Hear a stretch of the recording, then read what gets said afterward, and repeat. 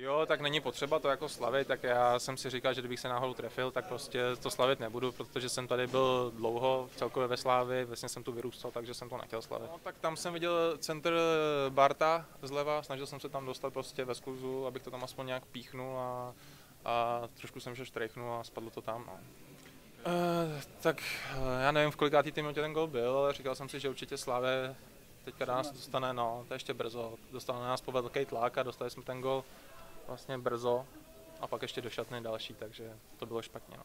Tak mrzí to, no. mrzí to, určitě to mrzí, takže každá prohra mrzí takhle. Je to, obro, je to obrovsky těžký, byl jsem zraněný hrozně dlouho, takže se mi ta kariéra trošičku, trošičku zbrzdila a je to vždycky nepříjemný, jste zraněný, já jsem to zranění měl opravdu hodně a, a byly hlavně dlouhý, takže, takže jsem rád, že jsem teďka v pořádku a budu se snažit držet pohromadě co nejdíl.